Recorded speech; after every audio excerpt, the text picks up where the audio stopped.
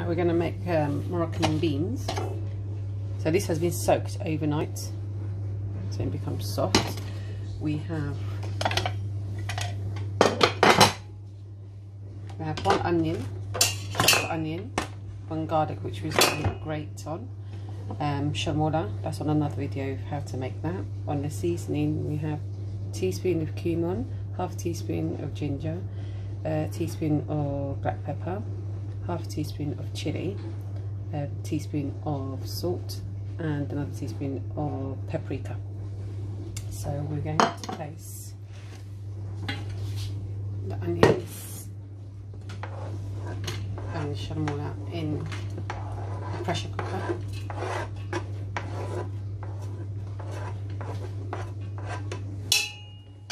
I'm going to grate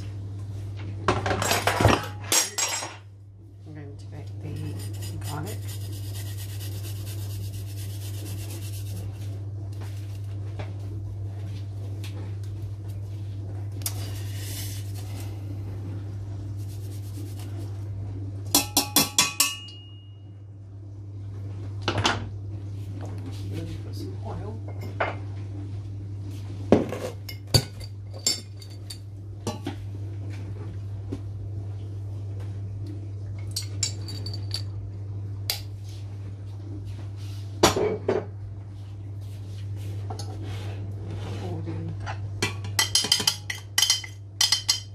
We're going to allow this to sizzle for a bit before we add the beans.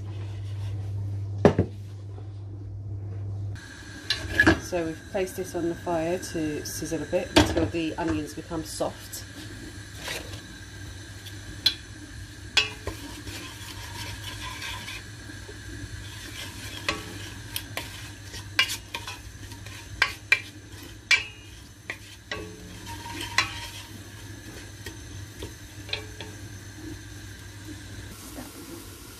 So it's sizzled now. It's softened. We're going to add the beans.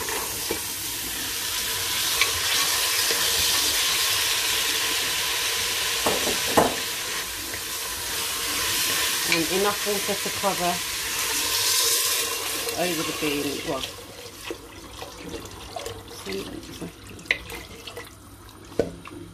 to cover it.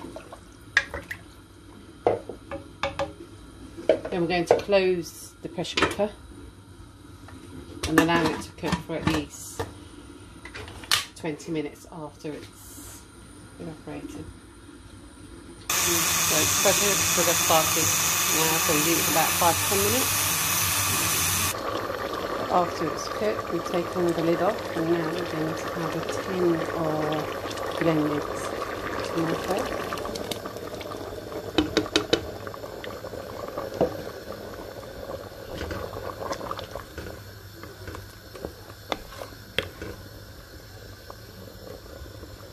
Allow that to cook for about 20 minutes or so.